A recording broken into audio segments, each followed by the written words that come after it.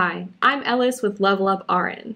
In this video, I'll be demonstrating how to obtain a blood pressure using a manual cuff. I'll be using the steps that we've listed on our clinical nursing skills deck. So if you have this deck, you can grab the card and follow along with me. If you don't have the deck, then you can head on over to leveluprn.com to check them out. To take my patient's blood pressure, I want them to be relaxed, have their arms supported with their legs uncrossed. And this is important more when I'm doing it like in a clinic setting or if they're sitting up in a chair, right? I don't want them to just hold their arm out for me like this while I'm taking their blood pressure because then they're kind of straining and tensing these muscles and that's gonna change my results. So I want their arm relaxed and supported.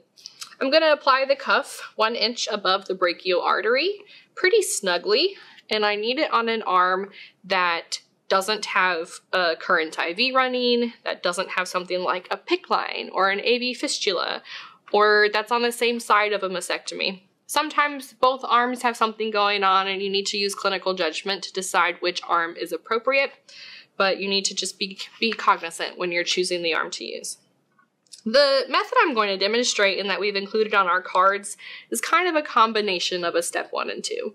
So I'm going to inflate the cuff while palpating the radial artery. Once the radial artery disappears, I'm going to continue to inflate the cuff 30 mmHg, and that's where I'll start my, my countdown when I'm doing my blood pressure. So let's do that together real quick. So I'm gonna put my stethoscope in my ears. I'm gonna palpate my radial artery.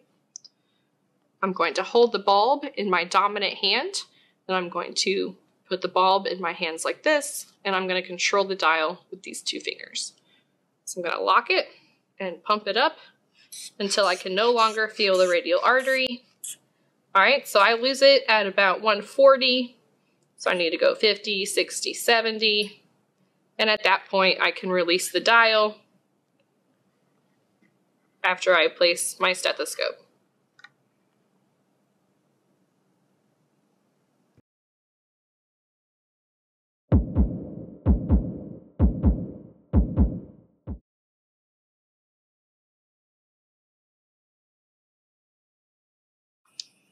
And what we're listening is for the first sound, which is our systolic blood pressure, and I heard that at 130. And for our diastolic sound, our diastolic blood pressure, which is the absence of sound. So at about 80, I no longer heard sound. So those are the two numbers I would document. So she would be, or he would be 130 over 80. So I'm going to do that again. I'm going to do it twice more so that we can listen and watch the dial together. And make sure when you're using your stethoscope that you're holding it fairly snugly against the brachial artery. I like to put my fingers into the stethoscope itself and wrap my thumb around their forearm. And I can do that from any position, right? Because it's allowing this to kind of adhere to their skin and it helps me because if I hold it without wrapping my thumb, sometimes they wiggle a little bit and then I'm hearing artifact. I'm hearing kind of like a crunching or crinkling noise on my stethoscope itself. And then it's really hard to differentiate like, was that their blood pressure? Was that just me moving? Was that something else? And so I want to fairly snugly push that against their arm. So I'm gonna go ahead and take a couple more blood pressures. And this time we'll just use the one-step approach. We'll I'll pump it up and then we'll listen for blood pressures just so we can practice noting when that first sound happens and that absence of sound occurs.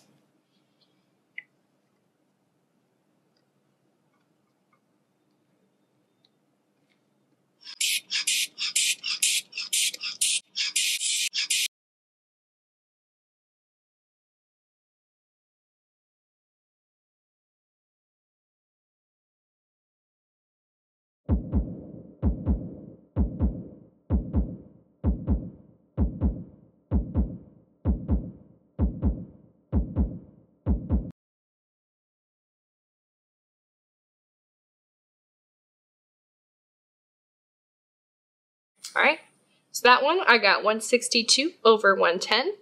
So he's got a little bit of hypertension going on. And then we'll do one more.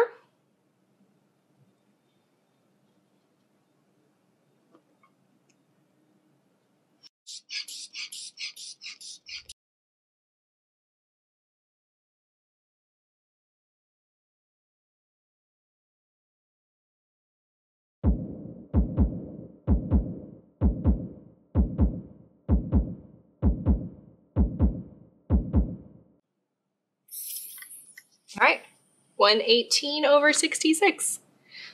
And that's how you take a blood pressure.